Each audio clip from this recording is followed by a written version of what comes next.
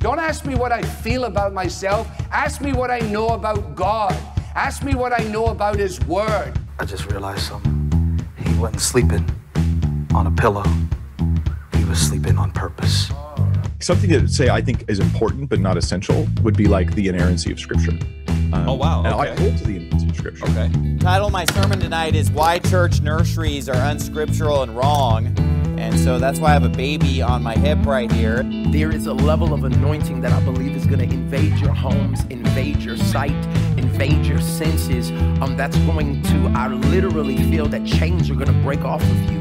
Do you think I'm wrong? Yeah. yeah. Yay! So am I a bad guy for saying you're wrong? Yeah. I am? Yeah. That's not fair.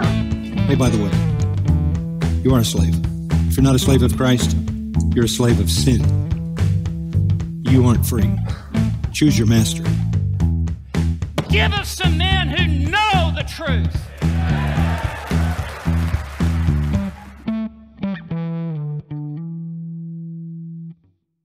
Wow. So are you like you're in a real deal studio or something there, huh? Yeah, I've uh, I've had this studio since 2000. Um, When I got off the road from the Channel Surfers, Love War and the Channel Surfers, and then uh, decided to put my shingle out as an engineer and producer and stuff. So, yep, that was uh, that was 2000. Got off the road October of '99. Played our last gig, and um, as at least official as a band with a record out and trying to make it. You know. Yeah, yeah. How long were you uh, with that band? Well, let's see. Love War started in 90, no, 89, 90.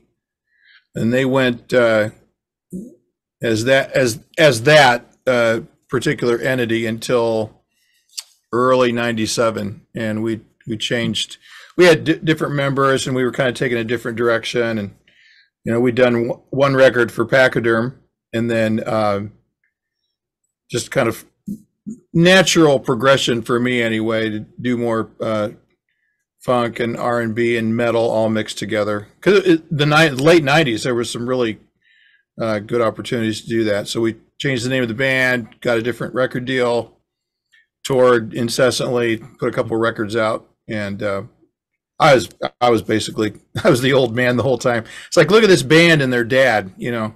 uh, but I was the I was the like the the guitar player and producer and came up with a lot of the melodies and stuff. So Oh, okay. Yeah, Yeah. Well, yeah, the '90s were just uh, uh, a greenhouse for alternative rock. All the different Oh, man. streams that were popping up after, like Metallica and Nirvana in the late '80s and the early '90s. I guess that's when. yeah, Nirvana changed everything. Um, I was just talking to a friend of mine last night. There's because I listened to different bands for like just to keep up with where mix engineers are. You know, what's what's the benchmark? What's the A game?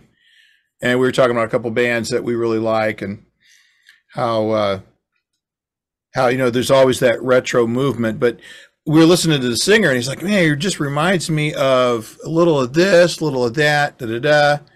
And he was talking about some of his favorite bands from the late '80s. I was like, oh yeah, they were a great band. And then Nirvana came along, changed everything. yeah, that's right. You know, you just couldn't, you you could not deny the. Uh, and it was great for guys that sing low. Hmm. You know, the whole thing in the '80s. right. Yes. Who- uh-huh. you know, that's Sammy. that's rare. Oh yeah, I just I just listened to Montrose's first record with Sammy Hagar. He was 18 on my back porch with a delicious stick, and uh, man, it's just a great hard rock record. Yeah, man. I I was raised on. I guess as I was being raised, it was referred to as classic rock. So I don't want to offend you. now I'm oh, don't worry, don't worry. I get it. no, now uh, that STP is classic rock, I am officially old, man. It's all over. Yeah, It's- that's right. Forget it. Bring in my wheelchair. My pud. I want my pudding. so as a as an engineer mixing guy, do you follow Rick Beato stuff on YouTube?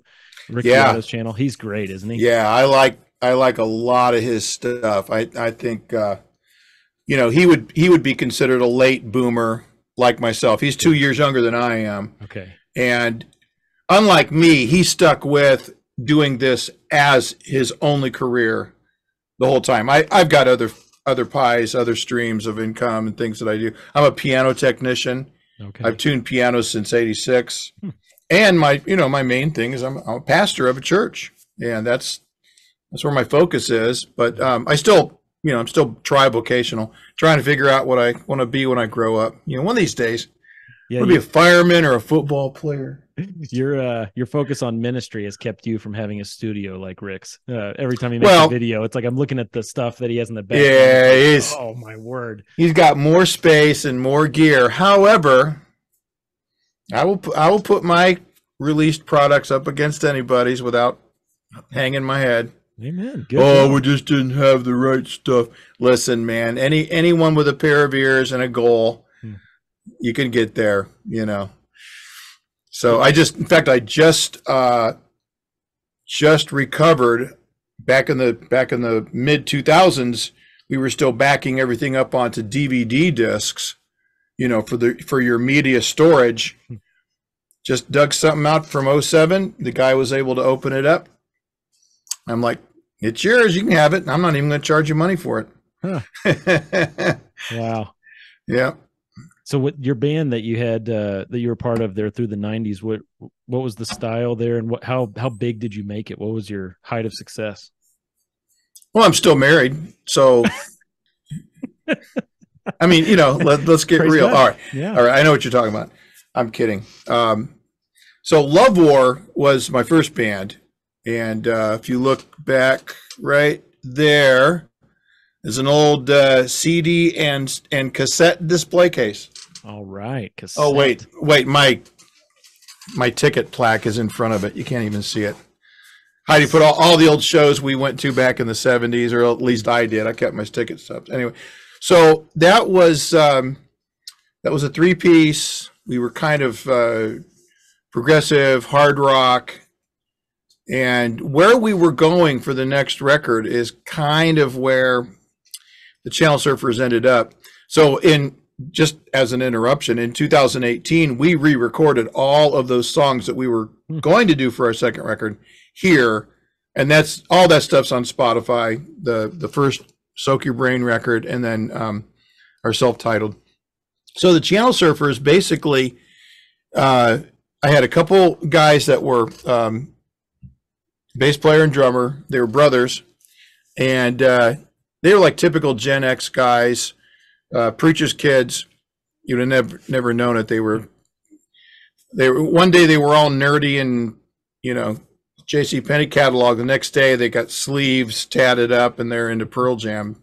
No one really knows what happened there, but um, anyway, so we were still doing the Love War material. We were getting ready to go play down in Brazil at a big old festival. Um, I did some work for Guardian and and sat in for Dave Bach on one of their Brazil shows. And so the promoter's like, "Oh, we want your band to come down."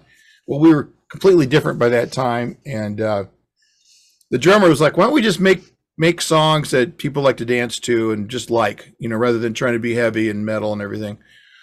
And I was like, "Yeah, I, actually sounds like a good idea. I've been metal for forever, you know, hard rock metal through the '70s, '80s, and uh, so we just started. We we would put jams together. We we would just sit in this literal room, 16 by 16. There's a drum room over there, but that wasn't here then. And um, keep the cassette player rolling, a couple condenser mics hanging from the ceiling, and capture whatever came out of us. You know, and we'd like that bit. And let's get rid of this here. Not so much, but let's do that. And that's how the songs developed for the Tunnel Vision record. Old riffs we would kind of borrow and steal over here, and then all these new ideas. And the singer, I didn't even know if he could literally sing, because the only time I saw him was in a hardcore band, and you know, hardcore bands are more like Right. they'd get on their knees with the 58, you know. And uh, oh, I should have unplugged my phone. Can you pause this? Yeah, that's all right. We're going to yeah. edit. Yeah. Hang on. It's an old landline. I was gonna say that almost sounded like a home phone. I haven't heard one of So those it's forever.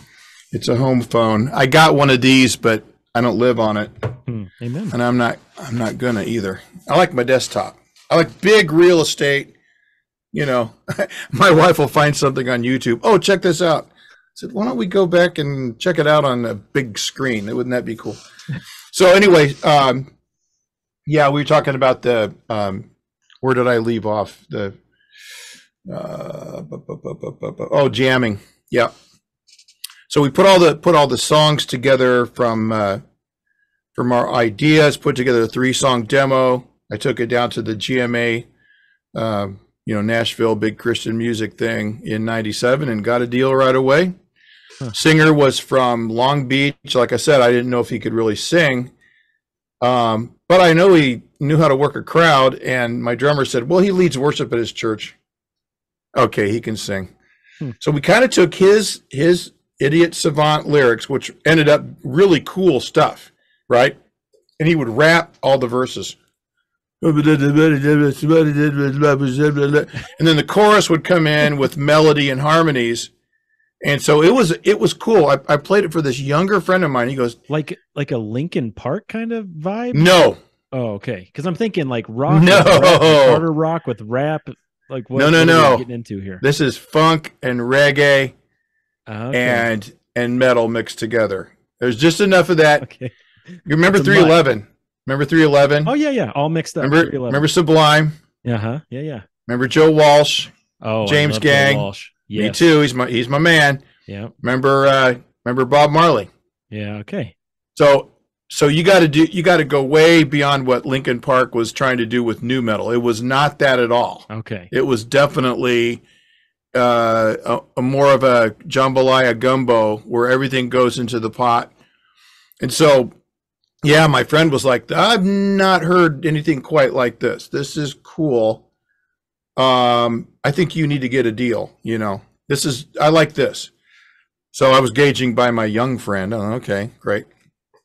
And that's kind of where it, where it uh, where it took off. In fact, I never I, I never listened to any of the new metal stuff. I, I was just like, okay, all my roots are in the '70s, Mm-hmm. roller rink re, roller rink music. You know, Ohio players, all that all that Dayton, Dayton, Ohio funk music that was huge around here. And so I was, and and Joe Walsh. You know, you want to talk about the down up down up. So that's where all that came from. You know, there was there were hints of it in Love War, but Love War was definitely more on the progressive, gr- progressive hard rock. Okay. So know. Soul Surfers was Channel Surfers. or Channel Surfers. Okay. Yeah. It was uh, a a mix of genres and explicitly Christian. Yeah, yeah. Um, I don't, I don't know if we ever said Jesus on there, but it was definitely in the uh, uh, in the genre of uh, Christian doctrine and theology in a poetic sense. Kind of like Same what with Switch, lo- Switchfoot has tried to do. I guess. But Uh, that- although I don't, I don't know what they're doing time. these days. You know, we toured with them on their first record. Oh wow. The when they were three piece, the one that was produced by Charlie Peacock. Huh. Yeah, we did we did like a um, w- uh, Western West Coast Yeah. tour with those guys and another one of the bands on the label. Yeah. So they were nice kids, you know, and I, I know they've kept it up, but hey, man, I, what is what is going on? I got I got to sit down and talk with uh, John Cooper one of these days. I, I think I, I know how to get a hold of him. See, when I was I was in music, Skillet was just a youth group band. You know, we didn't really Right. pay any attention to them, But man, I tell you what, give them props. They've they're flying the flag, and he stayed solid doctrinally and as a Christian and as a man. Yeah. And what's really funny, there's there's a girl I follow on on Twitter, Megan Basham. She Yeah, yeah. writes she writes for um, Founders Da- Ministry and uh, Daily she Wire? she also does Daily Wire stuff. Yeah, I yeah. think she and Tom Ascol do stuff together. Tom. Tom's a friend. I love Yeah. Tom. Good guy. Um, yeah, he's one of the good guys. He's been on So- the show twice, and I, I tell people Tom is the real deal. He was one of he was one of those guys that when like we talked before the interview and stuff and talked afterwards, he's just the real deal. I mean, Yeah. Tom is a really really good guy. I've gotten to talk to him just twice, but I, I like him a lot. Well, you know, jump jumping to my pastoral ministry when I I was ordained in 06 at church plant decided to come to Syracuse where I live because they needed a pastor we, rather than planning a church fresh. So I was 11 years at one church, you know, my fingerprints are everywhere. And then this came up, and it's the Southern Baptist Church. I wasn't, but I was a confessional 1689 Baptist. And he was one of the guys I got a hold of and talked to and said, Hey, any advice? I mean, this is a little country church, a bunch of old people. And he said, Man, just spend your first year preaching good sermons, Tim. and uh, don't try to change much right away, but just spend that first year. And I was like, All right, that's good. I got I got advice from everybody, but I was leveraging. I knew a little bit about Southern Baptist polity. So anyway, you know, Megan Basham, uh, you know, all this stuff going on in, in Christian music. Everyone's capitulating to the zeitgeist. Oh, oh, mighty alphabet soup. You know, Yeah. and, and we're like, look, we saw this coming, and I can think right off the top of my head of one, two, three, four, five guys who were in the edgy section of Christian music, not the mainstream, but rock and roll, tr- true, pure. And every one of us is a pastor of a sound church. One of them is a Missouri Synod Lutheran. The rest of us are all Reformed. And guess who it was that folded under pressure? It's all the nice people. Yeah. You know, the Amy Grants of the world. Let's wear the rainbow stole. You know what? I don't need friends like that. You you've given in, you know. Yeah, I um I, I'm kind of curious if you've ever if you ever came across it. For almost 10 years, um, I did a end of year Christian music review of the new releases from the previous year. And it was one of the probably Huh. m- most successful thing I ever did. Tim Challies would share it every year, which got the people to come in.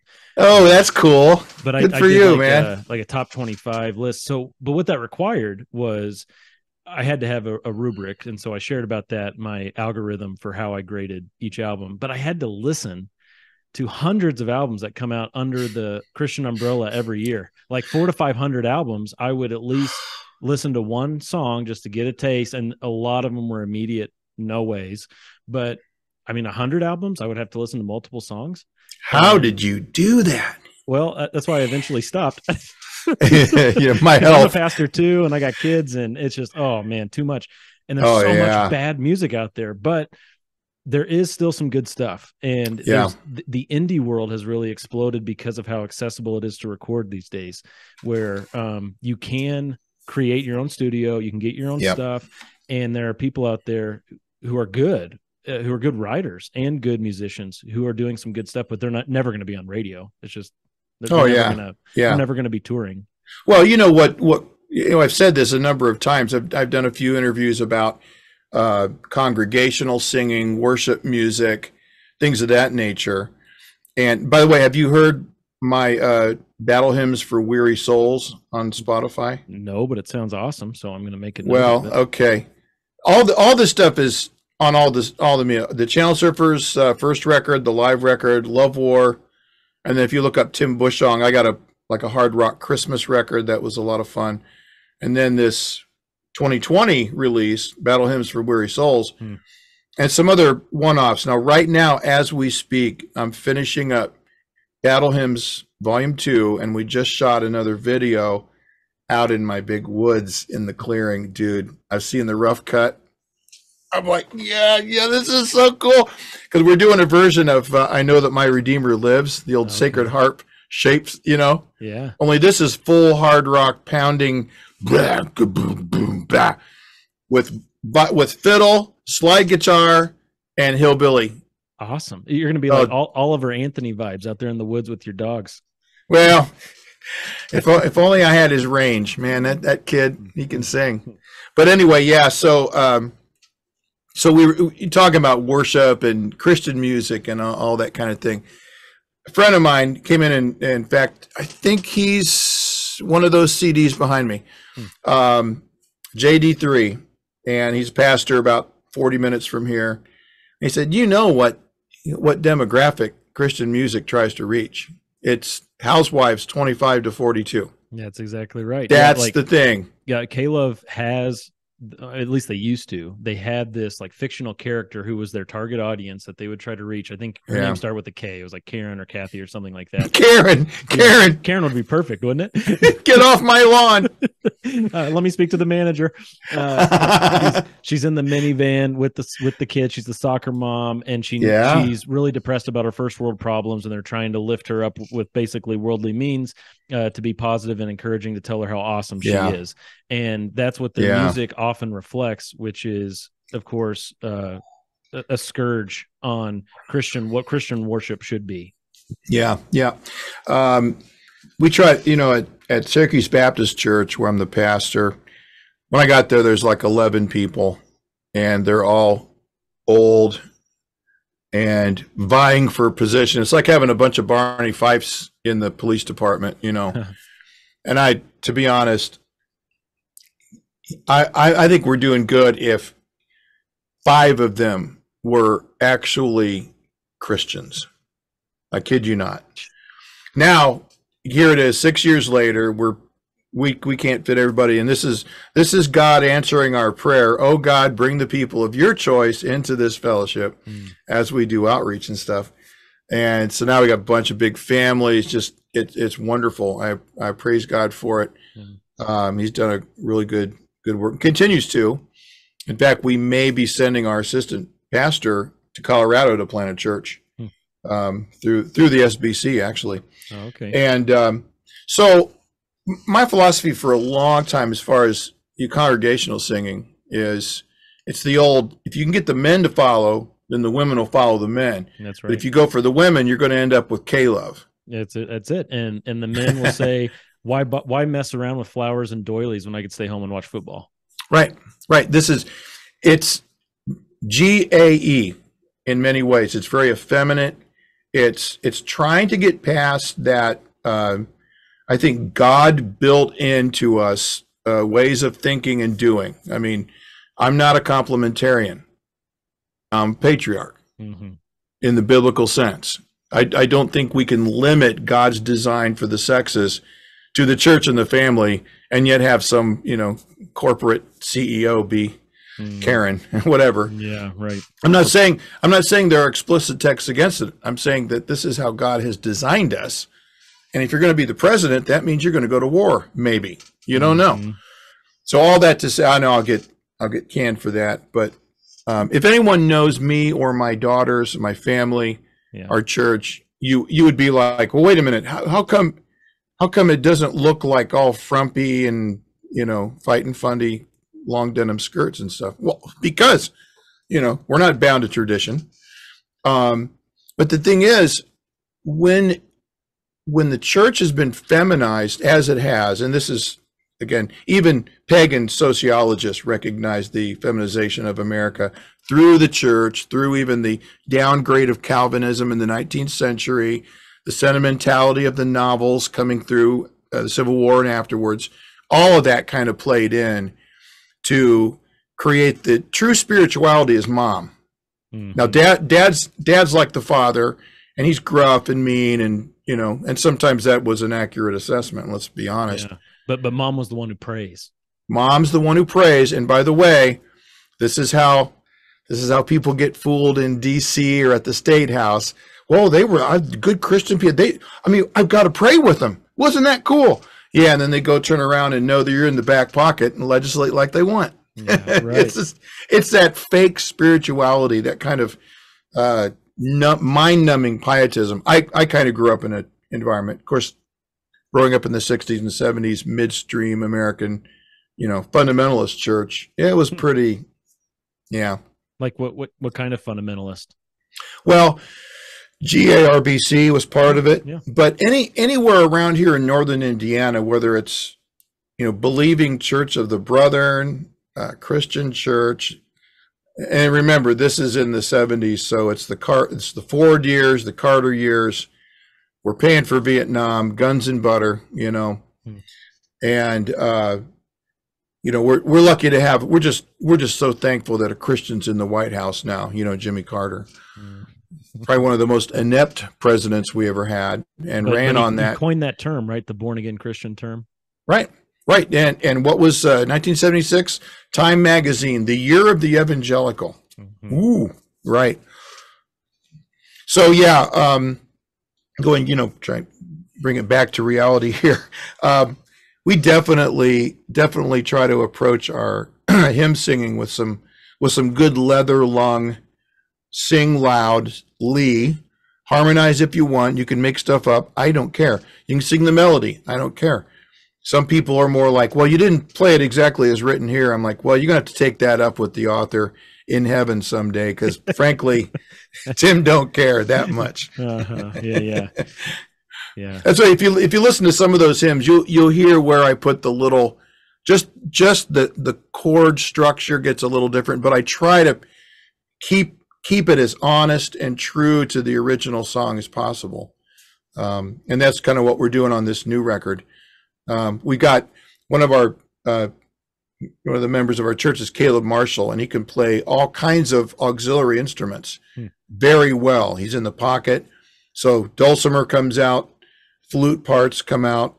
I had uh, two different styles of violin. One one girl, our old friends, the Murgies, she's completely sight reading, but she can't just doodle. So I, I bring her in for five songs, and then this other guy couldn't read a note if it saved his life. But man, has he got the thing Uh-huh, going on? yeah. Oh, you're on nothing but the blood of Jesus. Oh yeah, that's you. You know, he doesn't. Even, he's barely sentient of the melody, but it's like, oh, this makes perfect sense. Awesome. So yeah, yeah, we got a lot of different instrumentation, and I'll take liberties where I want, but it's not like I'm adding a chorus to. Oh, who, whoever did that added a chorus to "When I Survey the Wondrous Cross." Hmm. They they need to be taken out back and and given a blanket party without the blanket because you don't do that. You don't need that, man. Uh-huh. Sorry, Well, that was a that was a perfect Isaac Watts. I mean, I'm, I'm just breaking up thinking of the third verse. You know, oh, see from his head, his hands, his feet. Yeah. Love sorrow and, and blood flow mingled down. mingled down. Did air such love and sorrow meet? Or thorns compose a rich. Nobody think nobody writes like that because people don't think like that anymore. Hmm. We're not very Yeah. well read. Yeah. Yeah, well, yeah, that's extremely true. It's uh, hard to be a deep thinker when most of your thinking happens while you're scrolling TikTok. Uh, but uh, what? So I'm not gonna live on here. good. That's great. Yeah, it's almost like uh, it seems like visiting your place would be like visiting 1998 or something with your landline and your rejection of being addicted to your smartphone. Well, wait till we go out to the woods. Then you'll you'll jump back into um, 1898. Oh, all right. Hey, I'm all about that. And if you can find where the bodies are buried, man, power to you. No, I won't ask if they're human bodies, but uh, the um, t- thinking about music too. Uh, I'm just curious. W- what music do you go back to? What What do you listen to time and time again? I, I'd like to hear a couple of uh, albums or artists from the world and a couple couple of Christian ones. Just curious. Yeah, uh, that's a great question. Um, they say that the, the the cultural artifacts that you carry with you are the ones that you embraced in your formative years, your coming of age. So, like I said, a couple couple nights ago, I I listened to the first Montrose record top to bottom. Now I don't do that very often. I was just in one of those moods, and I'd gotten some cigars I wanted to try out, kind of the barber pole where Maduro and Connecticut wrappers swirl up. I'm like, ah, let's let's check that out. I said I would like to hear Sammy Hagar's first record. Yeah. The the seminal the the the vocabulary of 70s hard rock drumming is a combination of Denny Carmassi from the first Montrose record and Assorted Bonham. You put those two together and that makes all the rest of the 70s at least rock and roll come alive. Considers. Oh, phenomenal stuff. But I'll be honest that my go-to, if I just want to relax and we're just hanging out, you know, my wife will have a, a Spotify uh, week weekly update come in, and and usually that's going to be a combination of some newer R and B, some Al Green, Mhm. some funk. Um, my go-to is probably going to be combination of uh, Little Feat and Steely Dan Mm. and I'm a huge fan of both of those those bands. Not really going to be in the hard rock genre. Yeah, yeah. Um, Steely I, Dan, I, so many good, so many good songs, dude. I mean, uh, Rick, it, the the bass line from Rikki "Don't Lose That Number," the opening uh, riff dude. there is coming to mind. Well, you you know that's kind of a borrowed bass line from an old jazz, late fifties jazz. Mm.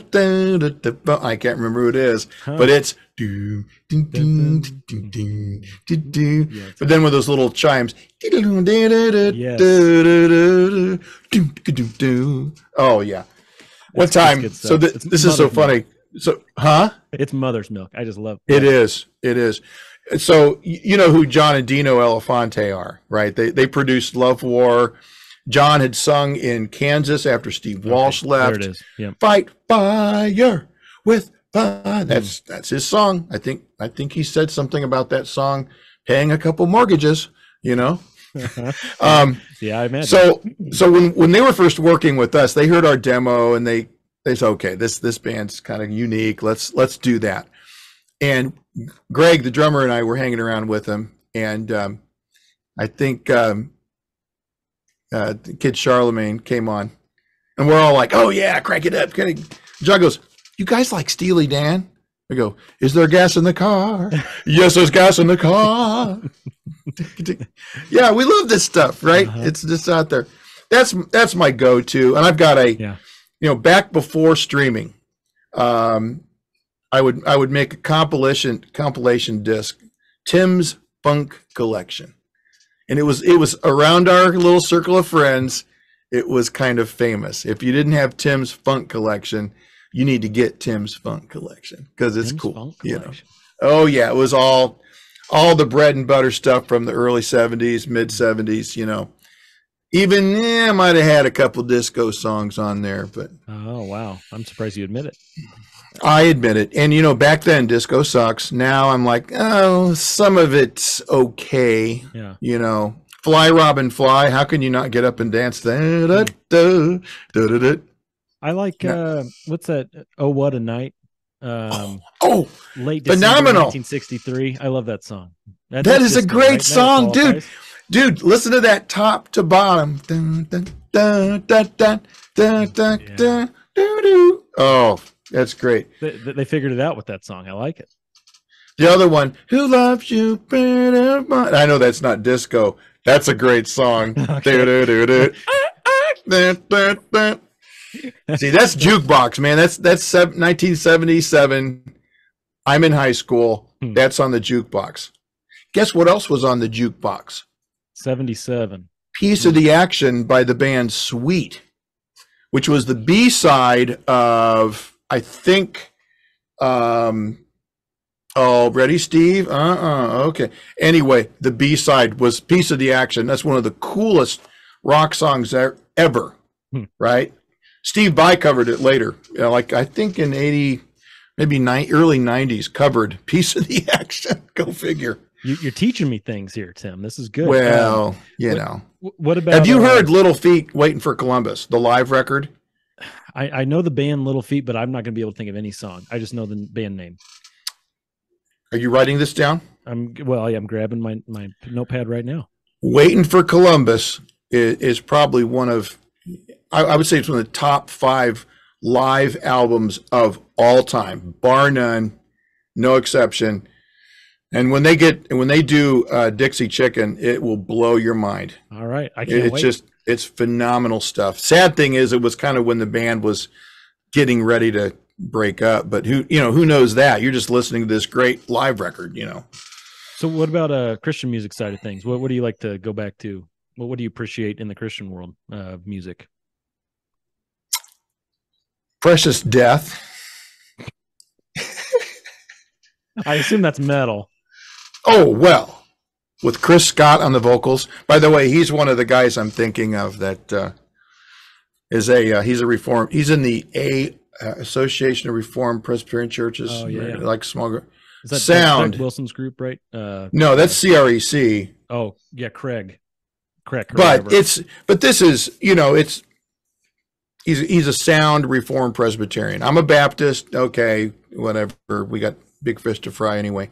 Yeah. Anyway, I I'll tend if if it's going to be in that genre, um, it's probably going to be in more like just hillbilly bluegrass stuff. That's that's hymn book. I really, to be honest, man, Hmm. when I got off the road, I didn't. I hate to say this, I didn't pay any other than maybe Demon Hunter and some Underoath because my kids were into that. Hmm. There was a band from South Africa with a chick singer. I can't remember who that was. They were pretty cool. Is that like uh, Evanescence or uh, um, no, they had, they had a deal on four. Rock? They had a deal on forefront. Like that helps. Oh, that yeah, that clears up everything really nicely, Tim. Yeah. Um, other than, but it wasn't. I just didn't care, uh, to be honest. Um, I'm I'm sorry, and and I'll recognize absolutely that you know I don't I don't get out enough and should have probably paid more attention. There were a couple bands on uh, on like the Tooth and Nail family. Yeah, because at the Tooth and time- Nail's done a lot of good stuff. at the time I was I was recording so often. So starting in 2000, I put my shingle out in the studio. From from that time until about 09, hmm. I was swamped with music. So there were an awful lot of Christian hardcore bands that came down when when these small little labels would realize, oh, we can we can send our guys there, we can trust Tim with the mix, and it's not it's not like we're spending 10 grand on a record. You know, we can mm-hmm. probably get out of there for 3500 bucks and it's going to sound really good. And so, you know, I worked with a number of the the local Ana Avea. Anathallo was one of my clients. I did three of their records here. Um, they're kind of they went national. They're, they're not a band anymore. Um, Bestiary, Haste the Day did their demo that got them on uh, with not solid state. Okay. And I'm still friends with the drummer and stuff. Um, so that's that's what I had my ear to was, you know, we want we want everything to kick so hard. It, we want mixes so thick that you couldn't put a piece of paper in there. You know, and there's no no room for any of that slop. You know, A lot of reverb. that- huh? a lot of reverb. Well, unless unless they were truly modern and they wanted it dry as a bone, then it's like you never know, right? Oh yeah, that. Oh my goodness, what people do with with reverb? Oh, didn't that sound great? Well, no, it didn't sound like I'm standing in front of the drummer. If that's Uh-huh. if that's what you want, um, you know. And at first, I was getting tons of Christian bands because I had been in, you know, Channel Surfers, and there was some notoriety in Christian music. And you see, you're Tim, produced by Tim Bushong. Well, in that case, he must know what he's doing. Um, but as time went on, it it it definitely shifted more to just whatever band is around. So, you know, Fort Wayne, Rockford, Grand Rapids, South. I think the farthest away people came was like seven or eight hours to record here. Okay. And uh, I, I recorded with s- some really, really good bands. There's Well, no question of, about it. Like one of my favorite Christian, genuinely good rock from the last uh, decade or so, and it's kind of it's sad. It's not kind of sad. It is sad because he's It- since apostatized. But um, D- Dustin Kensrue, you know that name? No, no. So he was uh, at Mars Hill, Seattle, before it, it imploded with. Tristan. Ah, I And- see. And Mars Hill produced a lot of good music. Like right, right behind me, I've got an album by King's Kaleidoscope. They did some really cool stuff, especially on that album. Uh, but uh, they- This they is how. of- This is so how out of it I am. I didn't know who Caedmon's Call was.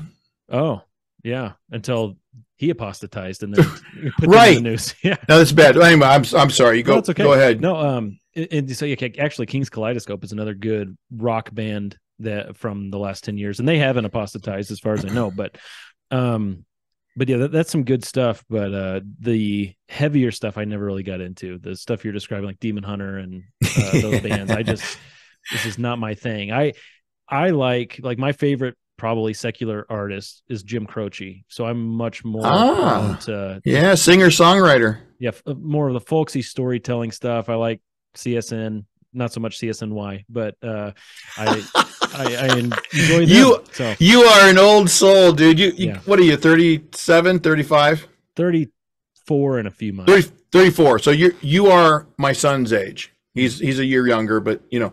And what's interesting, I was just telling a guy um, I'm not going to name drop, but I was just talking to a guy earlier, and I said, "Man, you know, I I know I, I was born in '60. I'm supposed to be okay, boomer, you know, but all of the guys that I'm I'm promoting and associating with, uh, guys that are coming to, speak at Jesus in Politics for, you know, John Harris, John Moody, William Wolfe, and uh, Joe Spurgeon, they're all your age. Yeah.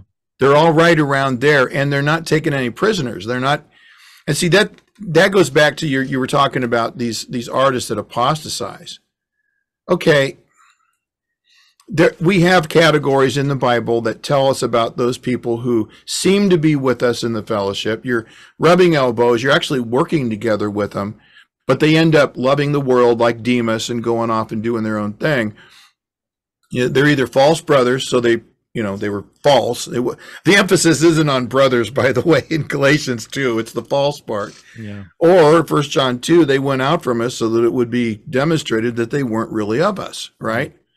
All that to say though um, hebrews 6 still still rings true. Those who have tasted of this the sweetness of the spirits tasted of the heavenly gifts for them to fall away.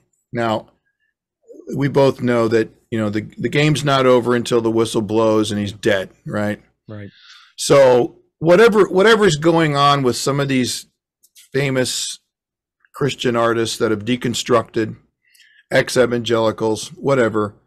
I, I'm sorry, but it's on them, right? I went through the same thing only in miniature. You know, I was raised in the church. I knew the gospel. Um, I, I knew that my sin was why Jesus uh, was crucified, dead, buried, resurrected, ascended to the right hand of God the Father. Um, I was baptized at 12, and by 15, again, the excuses come out now. It was the 70s.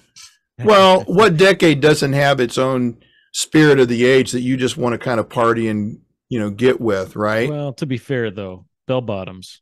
Bell bottoms, earth shoes, concert t-shirt, and a flannel shirt over it. We we were ahead of Seattle by 15 years easily. Wow. That that was our uniform here in here in northern Indiana. You know, I, I was student body president of my high school, and probably due partly to the fact that I'm a I was a rock guy, and it ran on the hemp ticket. I mean, that's kind of what it was, to be honest.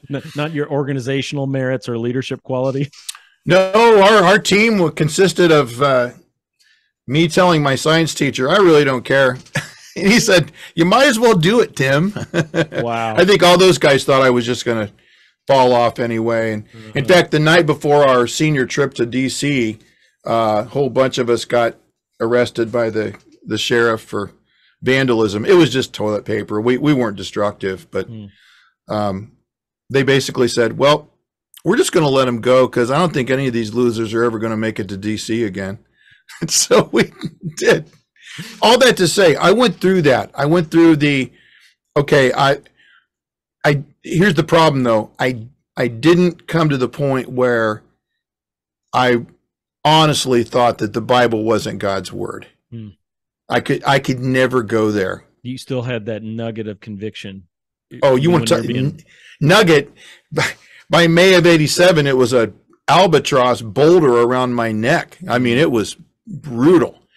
Tell you what, say what you will about Stryper and the yellow and black and all the spandex and stuff. Hey, again, excuses. It's the '80s. Okay. When I was on the road in the mid '80s, our sound man Mark Combs had an opportunity to go mix front of house for Stryper because he knew the Clair Brothers in Cincinnati, they were doing the front of house. He decided to stay with our band. He thought we had a real chance and he was going to, you know, be with us. So he had the yellow and black attack. And this is, uh, this would have been April of 86. So we're, we're all, we're all into the European dark metal except TNT, Priest, Maiden. That was us. And we were talking to guys that like uh, Combat Records, Metal Blade Records at the time. And he would play their stuff. And he goes, "Well, listen to this band. They're from Southern Cal, and they're they're Christians, but they're really good." And man, I would just be like, "Ah, "Freely surrender." Hmm.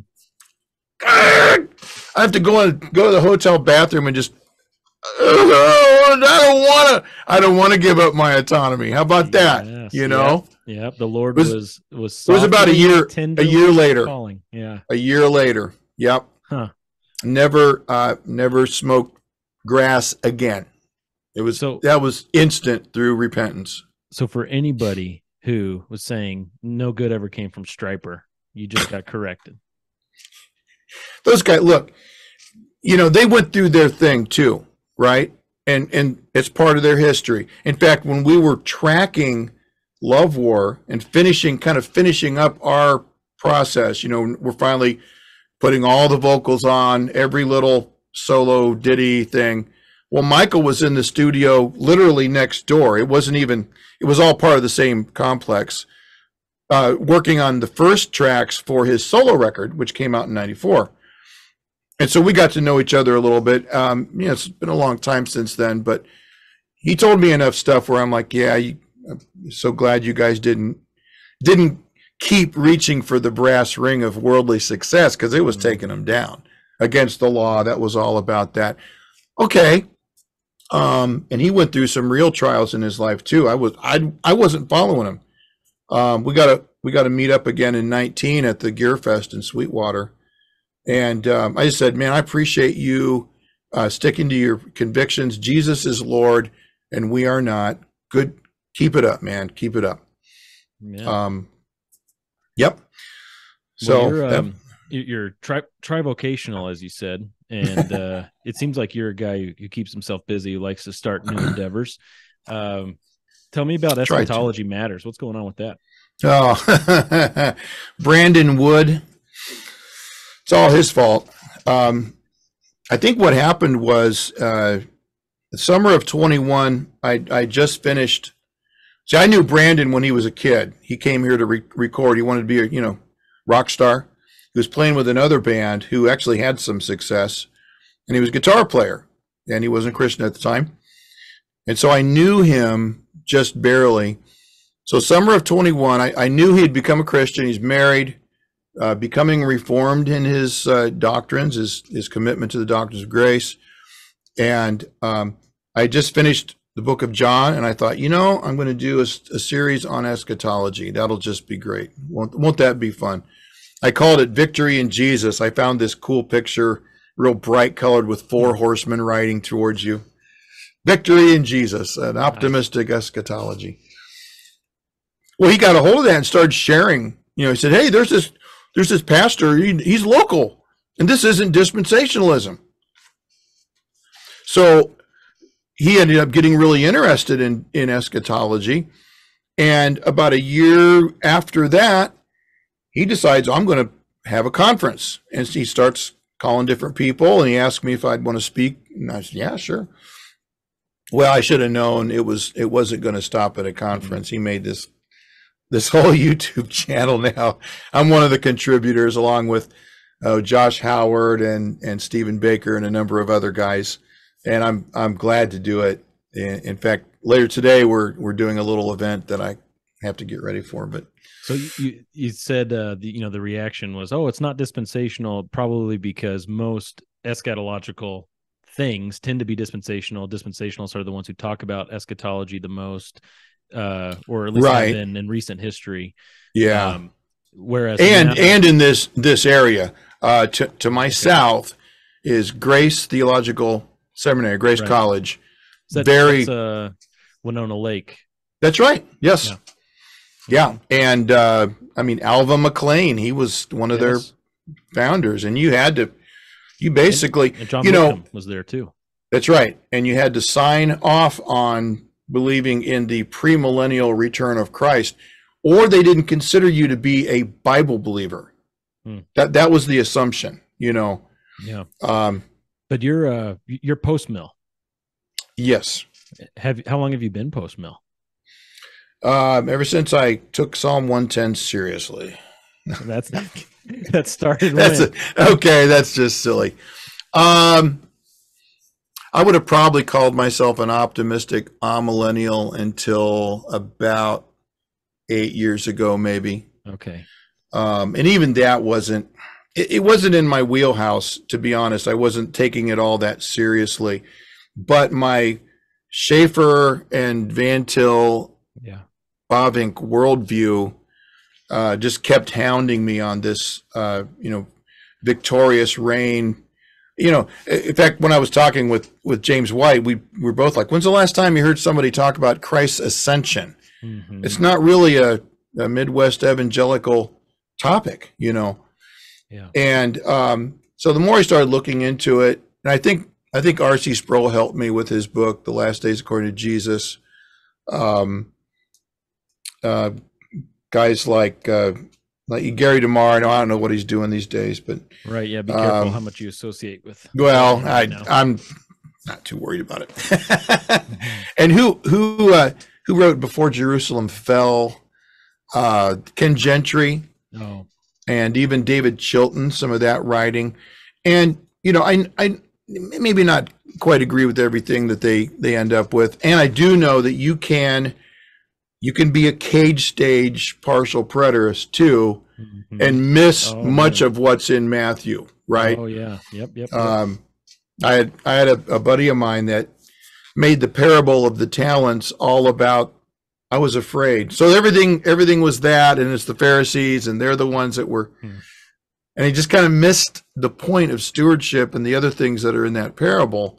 However, that said, um, yeah, I, I believe that most of Matthew 24 was fulfilled in the destruction of Jerusalem in AD 70 um, we don't quite grasp how radically um, uh, ra- radically up upturning upending that event was covenantally because we're here we are in 2023 and we live in america you're right Mm.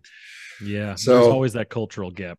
uh, oh yeah gap. yeah Uh, and, and once you can once you can see some of that i think it's helpful you know Well, just uh, to make a note about Schaeffer, because you dropped him. Schaeffer's one of my favorites of all time. He was premillennial, and That's right. Also, That's right. In his Joshua commentary, talked about a return of Israel to their land. So thought I would Yeah. just Yeah, thank you. Thank you for that. He's if you ask any of my closest friends who's Tim's favorite guy, they're going to say Francis Schaeffer. Oh, he's just the man. I love. I Dude. mean, anything he's written, you just got to pick it up. and Prophetic. Yeah. And by the way, I'm I'm one of those guys that will look at Romans 11 and say, "Yeah, I believe that in the future there's going to be a great great massive ingathering of Yes. the Jewish people." Amen. Yeah, Absolutely. Yeah. for sure. Now as far as land, I'm on the land. I live on land. Yeah, yeah. A strip in Palestine? Eh. I don't know if we'll Real get back to that today, but that would be a fun one to to go back and forth on sometime. But uh, Sure. This, So this this project, eschatology matters. You've got Yeah. um, different perspectives that are that are offering voices there. It seems like at least that. Um, yeah, was it the the conference last year? You had one speaker kind of from each view. It seemed like that's right. That's and, right. Um, and there's a great balance that's being displayed there, where this is a, a nature or a doctrine of- that's secondary in nature, where you guys can come together in fellowship and talk about your differences without anathematizing each other, right. which is Right. awesome. We're all about that. So any any any deviation from from my personal preference off with your head you know you're going to hell wow. So uh, wow i didn't see that coming yeah, you can take the boy out of the garb, but you can't take garb out of the boy. There it is. It came back. Uh, exactly right So, Right. um, are you involved at all with this debate between, quote unquote, debate between uh, Foskey and Wilson? i am the moderator Okay. So Yeah, you'll By the when that when that out, drops it'll- you're going to see this released. this background with the loser football team behind me too Okay. yeah yeah So, uh, because I, you know, we're recording this in August, and I'm not sure exactly when it's going to come out, so people will have already seen it or can go back and watch it. But that's going to be more entertainment than substance, right? Or, or what, what's going on with that? I don't know how to. if i have anything to do with it we there won't be any substance at all until the end so okay. I, I plan on asking as many leading questions as I can. For example, uh, to the to the amillennialist, how why are you the way you are? I mean, so, you know, stuff that will engender good conversation. That's that's the idea. Yes, real substantive. But Why do uh, you have to be like this? You know, it, it may actually end up being more substantive than our presidential debates that we're watching these days. So, um, Yeah, don't don't even. I I I am a huge reader of political theory and history, and until one of those guys comes up and says, "Okay, any powers not specifically delegated to the federal government automatically is returned to the states," I don't. They're not taking this seriously, man. The the law of the land is a dead letter, and God's judging. Man, there's no question about it. Mm-hmm. Mhm. But- we live in a weird time. Jesus rules, though, man. King of Kings, That's right. President of Presidents. Um, Potentate, potentates. No, I seriously, it, it's a it's a real mess. Um, you know, they're arresting the lawyers now in this Banana Republic show trial. It's silly. So you think about it from from your perspective. You what what church are you the pastor of? Uh, I'm a Or- or- church, uh, or I'm the pastor of a church in uh, Utah. Actually, I'm a, a Bible church pastor. We're non-denominational, uh, IFCA associated. Uh, I am a member of the IFCA. So yeah, I'm. Which doesn't mean you're you're IFB either. No, no, we uh, we're we're a New American Standard 95 only. that's hey, that's me. That's what that's what I preach from is the 95 Yeah, that's a good one. New. American Standard. Well, so you know, as you know, with the, with all this stuff, we're kind of joking around about music and singing and what you listen to and and all that. But boy, oh boy, I mean, you think about the responsibility of bringing and opening the Word of God to God's people and praying that the Spirit applies the truths to their hearts. Now they they're going to go off and, still be influenced by the world and show up again next Sunday with some of that on them. And you know, we we always talk about the Lord's Day being uh, reorientation day. You know, get your thinking straight.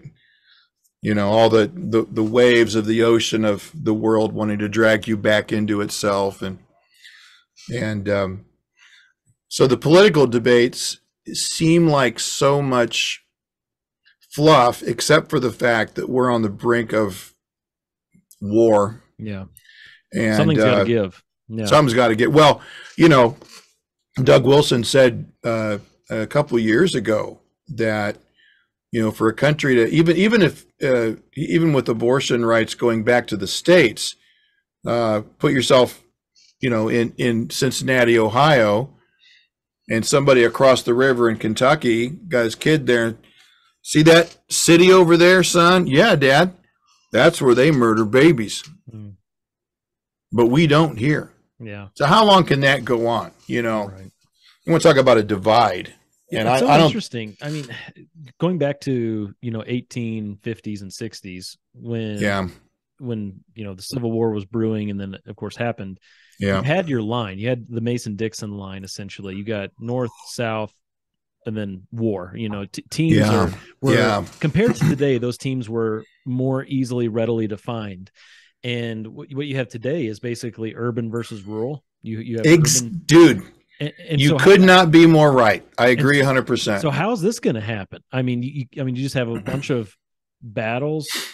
you know, I mean, throughout, and and I also I, I feel like you know I need to mention with what happened in 2020, um, the word I don't want to use to get this flagged.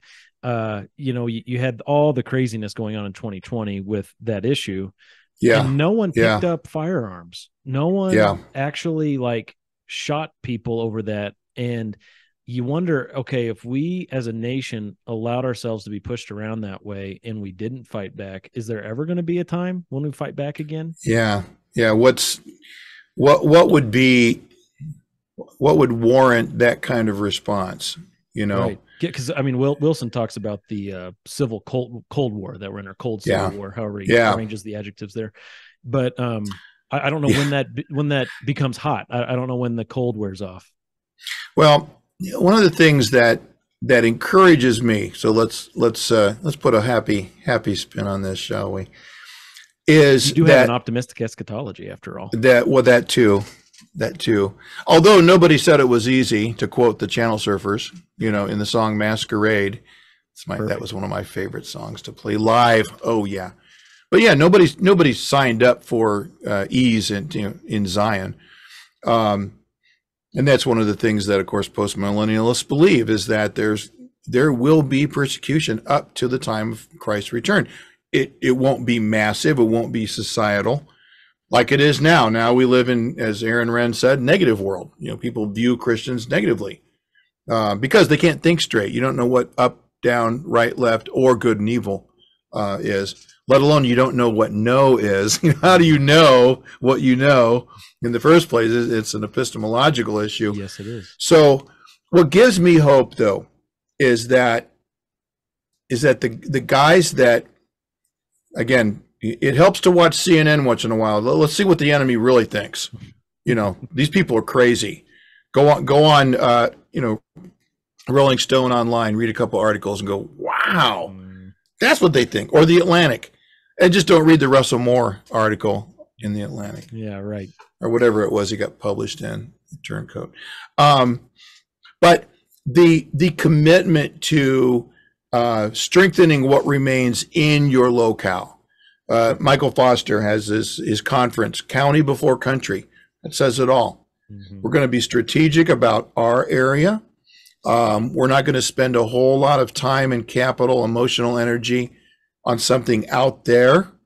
If these idiots want to continue giving money to a warmonger, again, there's no good guy, but let's face it, uh, the, the Orange Revolution didn't happen by itself.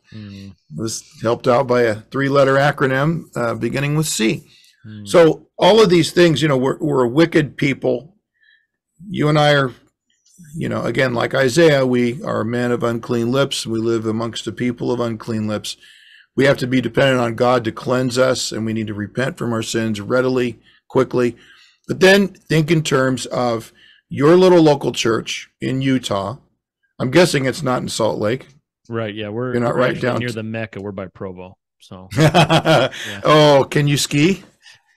I can't. I I'm a scaredy cat when it comes to that kind of stuff. I'm not. I'm not good either. I, I I learned too late in life, and so I don't have that confidence that my Uh-huh. my my son. One of my son-in-laws is from Sweden, and uh, let's just say, mm-hmm, yeah, He he, can ski. Yes, he does. So yeah, we keep uh, we keep we keep pressing, you know, on on our local areas, and again, strengthening what remains. So you're responsible for a body of believers. I am um, as well. Uh, we have we have elders and deacons. Um, but those those are the people that we really want to uh, shore up. And frankly, our church definitely uh, resembles our locale. Um, it's it's in the country. It's uh, it's it's definitely a little more homogenous ethnically than most, although it's not completely so. It's life. Um, and and a lot of the people are self-employed. So there's entrepreneurial spirit. There's hard work, uh, commitment to you know, equipping men to lead their families. We got the Titus two women. My wife is one. Uh, you know, teach the old, teach the younger women to, to love their husbands, be keepers of home, care for the children. And we got a lot of kids, a lot of kids. The guy who teaches our our children's Sunday school is like six four, massive, bare hands, and he's taken them through Keach's catechism. Hmm. So I almost feel sorry for the atheists that these kids meet when they're, you know, later in life. Almost. Benjamin Keach, uh, he, if I remember right, he put a lot of emphasis on that corporate singing. Uh, Yeah. corporate, corporate worship and singing. Yeah. Yeah, some of some of the I think some of the strict regulative regulativists Mm-hmm. don't quite care for Keach on that level. I, I don't know. I think he might have allowed a kazoo in there, you know, maybe a harmonica. he, yeah, he, he let the ladies in the front row tap their foot. Uh, so, uh, well, what a rebel! I love it. That's funny. How, how are you doing on time? Oh, cool. Okay. Uh, Yeah. Well, I'm- curious how much you think eschatology plays into strengthening what remains. Uh, thinking about you, you mentioned James White earlier, um, Mhm. and fun fact, you're the guy who did the Gen- uh, Radio Free Geneva intro, or does that? I guess it's kind of an evolving. Yeah, and uh, um, we're working on a, a video version of the same. oh, nice. so That'll I've got good. I've got a number of those those uh, quotes and clips with the video, yeah, and there's there's just nothing like you know who with choice meats. I mean, yeah. Well, hey, when um, the so intro funny. for the intro for our show, we uh, this is our third iteration of it. Uh huh. we added video this last time just because it's so much better than having a static image on the screen for Yeah. and stuff. Yep. Um, and uh, it, we do homemade intros too. You'll you'll have to uh, tell me what you think. Um, Oh, I saw I saw the one with Furtick laying on his back. That's the one. That's the one. yeah. Dude, what is wrong with him? He's a freak, man. He, he's a he's embracing heretics and he says the dumbest stuff. You know, I noticed that with with some young preachers, they will make these broad sweep. Oh, Jesus would never do. And you're like, I can think of at least three times where Jesus did exactly what you said he would never do. Yeah. You know, and the, what what was his quote? Uh, Jesus broke the law for love. Or, or he, Yeah. he will never override. Even Jesus can't override. your override unbelief. your unbelief. Yeah. Come Uh, on, That that man. Spurgeon quote about one day instead of shepherds feeding the sheep, it'll be clowns entertaining the goats. Uh Furtick is chief clown, right? So yes. Yeah. Well that but the music for that intro was made Yeah. uh all, the parts were were done and, and mixed together by a good friend of ours, Dustin Garrett from college. He's an excellent Oh, musician. cool. Yeah. Um, so anyway, all, all that to say, uh, James White, um, that's where I got, got off on that. Eschatology, postmillennialism. Yeah, the, the last Go few years, he's Yeah. become big eschatology guy, and and even like, I think just eschatology guy because it seems as though, and this is what it was kind of implied earlier. I think if you're historic pre-mill or amill, you're just not talking about eschatology that much. It's the dispensationalists and Yeah. now the new Yeah. postmillennialists that are talking about eschatology quite a bit, which maybe seems to be something that the Lord is doing in the church. Uh, how much does eschatology play into strengthening what remains? Yeah, I think uh, so. As a man thinks in his heart, so is he. Now, I know the context is a little varied there in Proverbs, but it's true. Ideas have consequences, and um, you know, if you're really, if you're really convinced that we lose down here, and I, quoting MacArthur, I mean, let's let's get real. I have great respect for the man. He's he's taken some very uh, costly and unpopular stands. But if you're convinced of that, right, and you're consistent, then I don't see much impetus for uh, seeing the kingdom of God as extending outside of the church. I mean, seriously so. Um, so it's it's a little easier even to be in the Amil camp and embrace a kind of I know they don't like this, but the radical 2K stuff because it's not the same as Luther and Calvin's 2K. That's not, you know, God's left hand and right hand. So I want to be fair there, but at the same time, our thinking is, you know, you get a generation of young people in a local church who have heard countless times in whether it's the call to worship, the public prayer, the confession of sin, the the preaching, the homily before the Lord's Supper, and we, we have weekly Lord's Supper with the genuine uh, elements, by the way, just because you know Bible, or even in the, the the doxology and the benediction, they've heard these phrases over and over. Uh, uh, looking forward to the day when the knowledge of the Lord covers the earth as the waters cover the seas. Um, countless times, uh, Jesus reigning at the right hand of the Father until every last one of his enemies is defeated, and the last enemy is death. Hallelujah. That that especially is is great if you know you've got an older congregation and someone passes away. You know, we're all looking forward to that reunion, but between now and then, the already and not yet, you know, got a lot of work to do. So you think about those kids and and they've they've been raised in an atmosphere where this kind of um, uh, biblically based optimism is just warp and woof. Just like somebody said, "Well, can I be a non-Calvinist and come to your church?" I said, "Absolutely, you can." Right. I don't know how long you can take it. Mhm, yeah. Not because not because we talk about Calvinism all the time, but because everything is is being assumed or at least it's not filtered. It's like everything's based on the fact that well God is sovereign and ordains all things whatsoever to come to pass and yet is not the author of evil. And uh, you just get tired of hearing it. You would just be like, okay, I can't I can't take it anymore. Um, we've got a couple, you know, remaining dispies in our church. They're cool. They they love the people and we love them. Yeah. Um, and they don't they don't make a big deal about it. So it's almost like it's it's part of the air you breathe at Syracuse Baptist that Jesus is uh, the potent potentate. It's his extensive lordship and exhaustive lordship that is our concern. And it and then that all starts right here with each person. You know, you can't be proclaiming the the extensive exhaustive lordship of Christ when you're still looking at porn Yeah. you know, or whatever the sin is, still gossiping about your friends, still backbiting. You know, all those have to be considered because we are talking about progressive sanctification, you know, being more and more conformed in the image of Christ. But then one of the other things that I say, and, and I got this years ago from a friend of mine who eventually went to the Eastern Orthodox Church, but not me. I, you know, I had to read all the books, of course, to humor him, but Mm. um, is that whatever area, whatever sphere of influence you have, and this, of course, you'll recognize this from Schaeffer. Schaeffer's Kuyper for Dummies, and I think he was better at it than Kuyper. Um, but whatever sphere of influence you have, you consider that as the kingdom outpost, Yeah. right? You got you got your your guard towers, and you're you're progressively moving into enemy territory. But here, you know, as for me and my house, this is this is kingdom area. Hmm. Christ reigns here.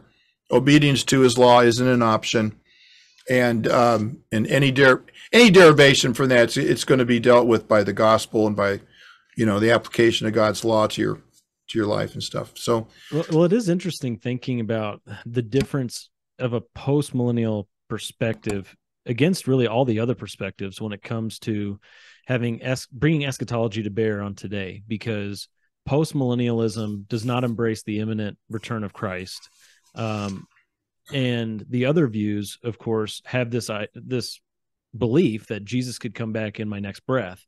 And Right. so there's an urgency there that is different than the urgency that's within postmillennialism. Not that it's without urgency, but it's a that's a good kind. that's a great point jeremy i think that's really good it, it's a different kind of we got to do we got to get on this you know? Yeah. so all the all the guys you know go, kind of going back to some of these these guys that are your age and and doing some really good work. Um you know i, I just talked to a brother this morning just had a, a book drop on amazon the boniface option. I encourage everyone to get it. Your book? you no not my book. Oh, I, oh. I can't write. I can barely read. No i'm kidding. Um i do have an idea for a book. It's it's called uh, 10 reasons why women aren't allowed on pirate ships and that's the motif for the uh, battle of the sexes but it's this has been in development now for 10 years you know and and uh I like the way you think. That sounds I, entertaining. I have an illustrator that's Great. that's cool no um a lot of these guys are thinking uh you know work and pray pray and work uh dig down i think one of the differences too is that um we still think in terms of the urgency of evangelism and i'll tell you what i i just have seen such good sound gospel preaching in front of abortion clinics that I I I never thought I'd see. It's just amazing. Um, you know, it's one thing to, you know, bother somebody with a gospel track who's just walking around. Okay, but here's you've got you've got a captive audience. You have people that are ready to commit bloody murder, and you can offer them the forgiveness that comes through the blood of Christ. They're about to shed blood, and this blood's been shed. You know, it's just a what a juxtaposition. Which, by the way, some guys sent me some footage recently of their their uh, street evangelism. They're playing our church's version of Psalm 110, "Hail to Jesus." I was just, I was, I was like, I was choking up, man, because Wow. you know the, the the the chorus, "Hail to Jesus, Christ is reigning, all will bow, and all will name him, Jesus, King of Kings," and uh, that's just cool. So anyway, there is an urgency Yeah. and all these guys would be post mill along you know Yeah. kind of along my lines And I have to say, I mean, as someone who's not post mill, um, the post millennial brothers and sisters are being very exemplary in evangelism and that urgency in evangelism and creativity in evangelism. I think in many ways cool. they're they are today where dispensationalists were not that long ago in the missions efforts and in uh you know reaching lay people even i mean you look at what Yeah. christ church in moscow is doing and they are they're reaching the layperson through creative means and Yeah, apologia yeah. too um and so i i really appreciate what they're doing even though we have some pretty significant differences uh recognizing them as brothers and saying hey uh, you guys are, are being exemplary in this. Well that's man that's very kind. You know it that kind of reminds me of an old um article from credenda agenda. Remember the hard hard copy? And the the uh, the article was it was written by doug wilson called our baptist betters. And he was talking about you know some of the goofiness that's in baptist churches and you know fundamental circles. But but his his point of the whole the whole thing was i like the evangelism you're trying to do better than the evangelism we're not attempting. Ah that's and and it was that was kind of that that uh-huh. compliment. It wasn't even a left-handed compliment. It was he's serious. He was dead serious. He's like listen until you take this stuff seriously out there and you're you're willing to put your neck on the line um then how, how can you how can you critique your brother just because they you know put their tea kettle on a doily or something you know, or cook a casserole for a carrion you know Mhm. I yeah don't know. absolutely you know I, I think people know what I mean. You're doing your best to imitate the Doug Wilson wordsmithing there. Yeah. Thank you. Uh, I I can barely attempt. You know, we had, uh, believe it or not, he was a huge fan of PJ O'Rourke, who just passed away a couple years ago, and I'm a huge fan of PJ O'Rourke. And when I read both those guys, I'm like, nah, don't don't even try this. This, this is not your wheelhouse. You know, it it is so good. Uh, yeah, it's a, even even uh, years ago, and I'll be honest, for for a long time, um, I, I was praying that there would be some rapprochement, some way to get James White and Doug Wilson on the same uh, playing field and doing something purposeful in the right direction. And God answered my prayer, and I think it was a long time coming, but good for them. And uh, but but James would would say stuff like, you know, you you read some some things from yeah, I won't say who, just some of you know people that are like that. He goes, you know, leave leave the wordsmithing to Doug. Yeah, that's right. Just just let him do it. He's he's got it, man. So how did you get connected with James White? What's your the history there? Well, being a solid old stubborn Reformed Baptist, um, I used to I used to download his his uh, dividing line on Real Media, and then convert it to MP3 so I could play it on my MP3 player. Ah, okay. and uh, started listening. I, I was aware of him through the King James only controversy, Hmm. and because that that made the that made all kinds of circles, like uh, in in your circles even that would have been a Mhm. oh yeah you better gotta check this out because there is a cultic side of King James onlyism. Um, sure, that was a yeah. popular book. His book on the uh, the Forgotten Trinity is good. The book he wrote with um, a guy who ended up in the CREC, and for some reason I'm blanking on his name. Uh, uh, same-sex controversy. Uh, Neil Je- Jeffrey Niell, and then um, so it was it was the uh, spring of 2015. Um, I was a little slow here in the studio, and when I would hear the theme, they they they used to do the uh, um, uh, Steve Green, Mighty Fortress, and then the congregation would come in, and you have these clips. Then another guy did it and was kind of nice. And I was sitting here going, man, this is this needs a massive onslaught of, of sonic uh, soundness behind Of course, it. you were thinking that. Maybe no one Of course, I'm. Of You- course, of course, I'm thinking that. What? What? How else would I think? Uh-huh. You know, you're talking to a guy who just listened to Montrose. Yes, correct. So, um, and I I'd been working on my Christmas record, and every year I would do a song that started in 2010. I did "Oh Holy Night." My son uh, got a whole bunch of guys over for my birthday party. I turned 50, and uh, I think I think we might have had 12 cigars going at the same time in my living room. And I just finished this, and I was like, "Hey," brought out my little MP3 player, you know, one of these Mm, wow. Yeah. plugged it into my stereo. I said, "No, I'm not going to make you listen to a whole record because I don't have one, but I have a song." And that that told me right there, I need to do I need I need to do more of my own stuff Hmm. because I you know working for other bands, I'm making money, but you know. So if you if you listen to Oh Holy Night, it's like it's almost like an over the top, but it but it, it stays true to the original arrangement. Well, that's what I was going to say. All the counts are the same. The original arrangement's over the top. I mean, it's a classically difficult song to sing because of its arrangement. So, So all, all of that arpeggio stuff I played on guitar, and then gung gung crack, you know. Anyway, so I was thinking they need something, and so I I got a hold of Rich Pierce. I talked to Rich before. I actually called in the show a year before. We talked about theonomy. Believe it or not, that was cool. And James told me to keep my bike oiled up because I'm not going to be able to run forever, and he was right. He's anyway, I said, "Hey, Rich, if if I were to submit a new version of Radio Free, you know, something heavy," he goes, "Well, yeah, send it on." So I worked on it, and I made it exactly the same length, with within split milliseconds of the Steve Green version. Same clips, same time for the interlude. Send it off. Almost immediately, I get an email back. Oh, oh, oh, wow, we uh, get because we're using it. Don't tell anyone. Problem is, we don't have another one scheduled till June. And I'm not going to let him know. I'm like, all right, mom's the word. nice. So here comes June, and and they're getting ready for Radio Free Geneva, and and all all he said was, um, James, you might want to get a deep seat in the saddle for this, and you could see on his face he'd not heard this before. And his first response, and this is an old one now, he said, well, "I can tell you one thing: when I was a kid, I wouldn't have been allowed to listen to that kind of music."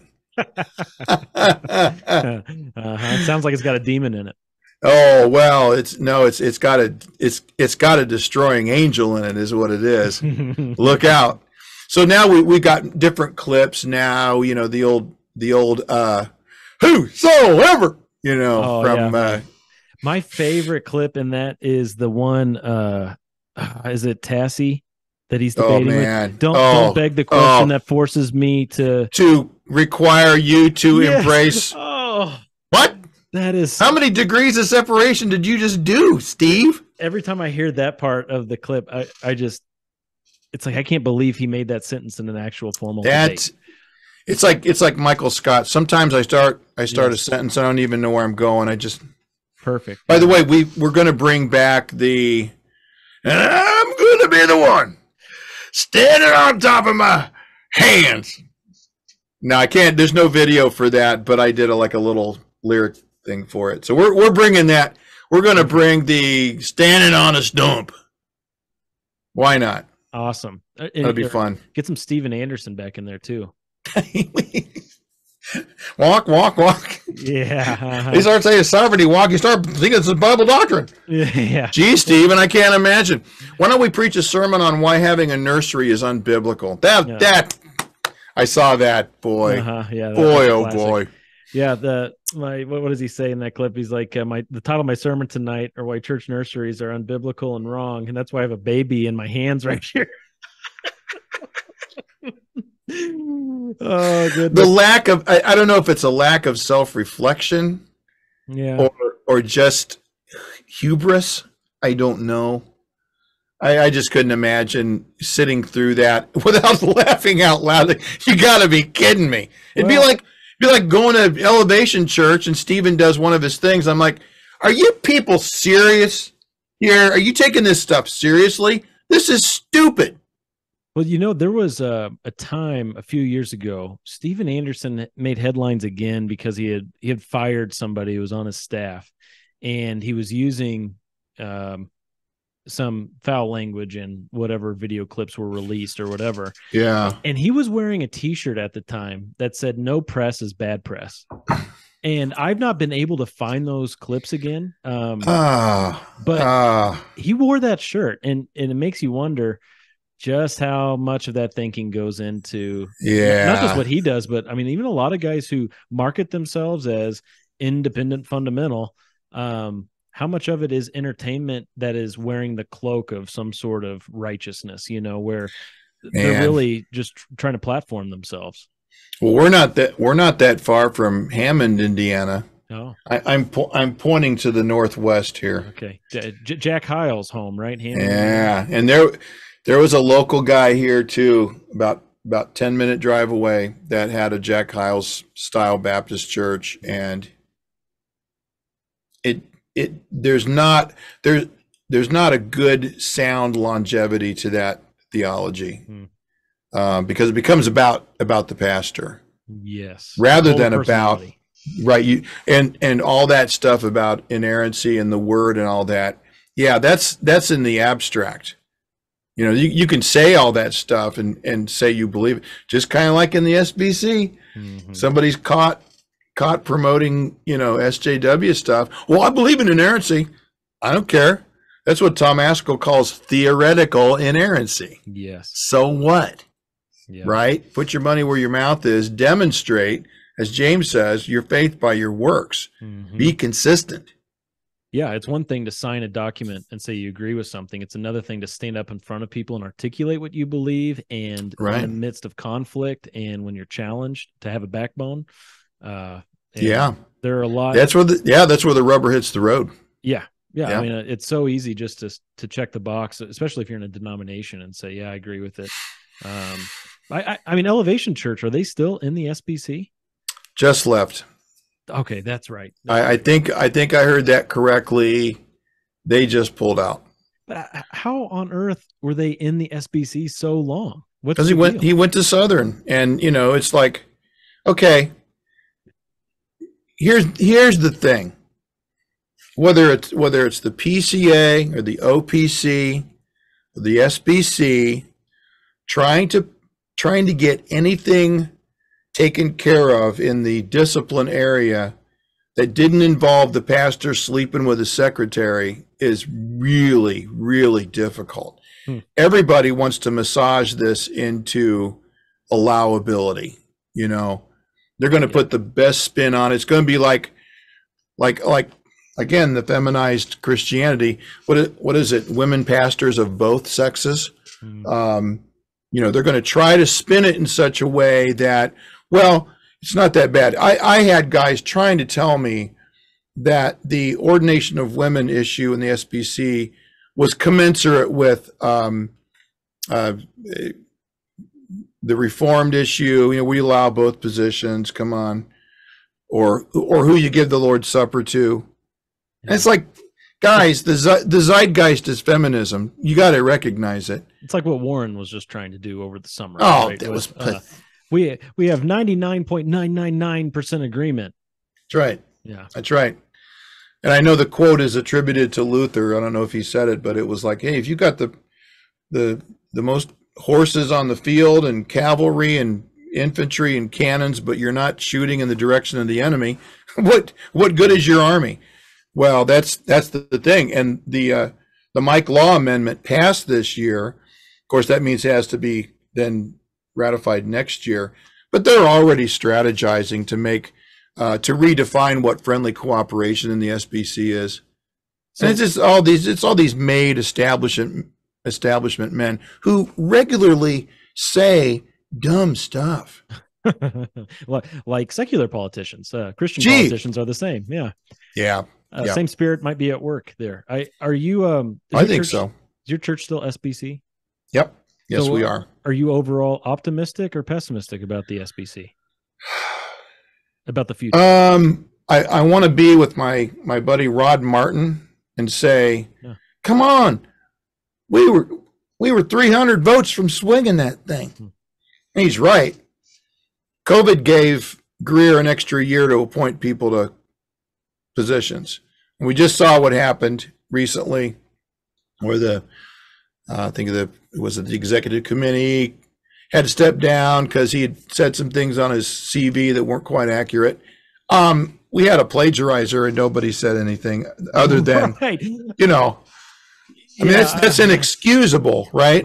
like Ken, my, our, our co-host, me, me and Ken were just talking about this yesterday. How, like, Equal in my weights. mind, Litton just kind of handled that like Biden would handle that, where it's just Yeah. like, you know, uh, come on, man, it's okay. Come on, man. And Come on, I asked permission.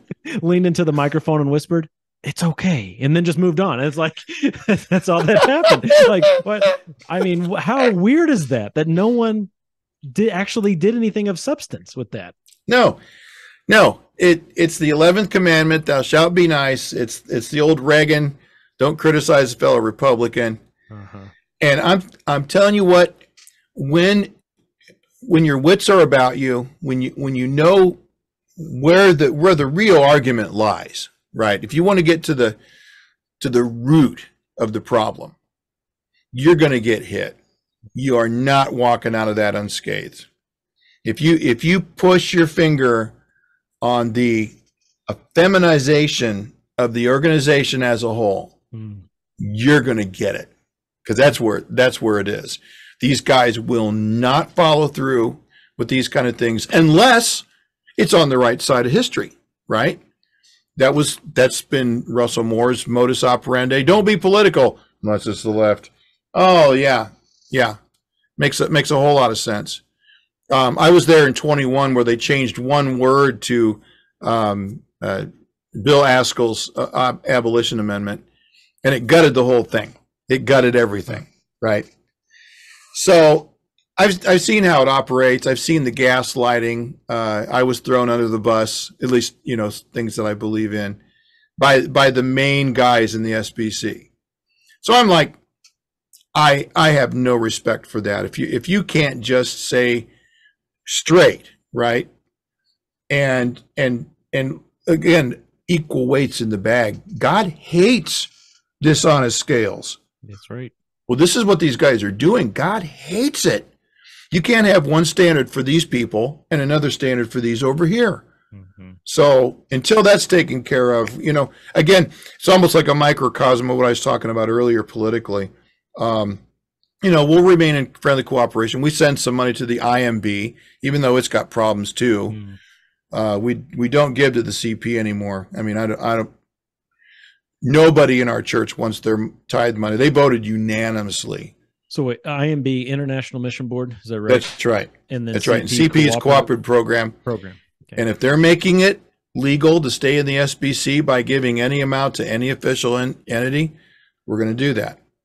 It's like it's like Trump said, if you want me to pay more taxes, change the tax code, Mm, right? yeah. So they could pull that. They could say, okay, from this time forward, we don't we don't have that in there anymore. Um, okay, but um, you know, there's I think there there are so many guys still in the SBC that are going, man, we got to do something because there is a lot at stake.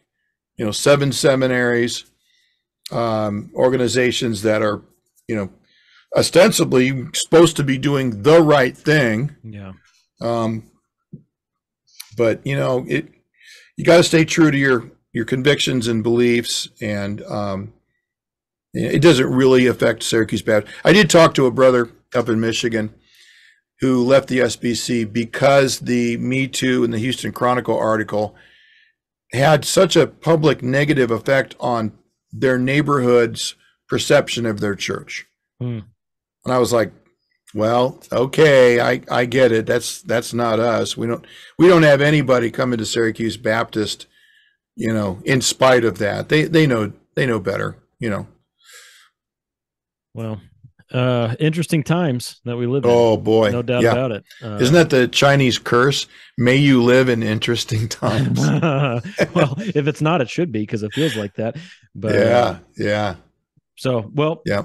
anything else you got going on that's uh that's worth noting here? We talked about eschatology matters, talked about some of your music stuff. Anything you want to point people Yeah. to before we close out? Yeah, October October 21st, we are hosting our fourth annual Jesus and Politics conference. Now everybody's put off by that, but it's it should be called Jesus and Culture, but hey, get the juices flowing, you know. So it's a little scandalous. And uh, so for the fourth year, Joe Spurgeon will be speaking. He's the pastor of um, of Sovereign King Church in uh, Southern Indiana. Yeah. I hope I get that right. I always say this church name wrong. Uh, John Harris for the third year from Conversations That Matter. Mm-hmm. John Moody, uh, who is a friend of mine, also speaking at Michael Foster's conference, and myself. And we're this year we're having it at a campground because we just couldn't host it anymore in our church. So it's at Quaker Haven Camp, Syracuse, Indiana. That's October 21st on Saturday. Fifteen dollars a head Well, with a free lunch. With a lunch now. That's great. 25 a couple and if you got a bunch of kids take advantage of us $40 a family Very good. Um, and uh, we would love to i know there are some people coming from missouri uh, kansas even california this year the so uh, um, uh, Moody, John Moody, is he a descendant of DL? I gotta ask. i don't think so but here's here's the funny thing um, all of our speakers are graduates of southern baptist seminaries three from southern william wolfe i mean you've heard of him Yeah. He, he worked on the uh, Trump administration. Sharp, So he- sharp. he's, he's easy to get uh, confused with Stephen Wolfe. Stephen, yeah, because yeah, they're per- both like uh, post mill Christian nationalist type guys right now. Um, Stephen is Stephen the one Right. who wrote the book, the Christian Yeah. nationalism book. Okay, yeah, So and, and William was in the Stevens, Trump administration. Okay, yeah, Stevens more of a, a Thomist, and I don't, I don't think he's reformed as such. Anyway, I could be wrong. I don't want to go out there, but yeah, I'm, I'm glad to have William speaking this year. He was actually John Harris recommended, and um, so yeah, all of these guys, three of them graduated from Southern, one from Southeastern, and um, so I'm I'm just I'm just thrilled, and it's my great privilege to be, you know, associated with these guys. And again, they get they give me hope for the spirit or for the future. You know, I think uh, what what they're what they're on about, what they're trying to do, is is really strengthen what remains and be able to say, hey, those are unequal weights. Mm-hmm. You got to stop that.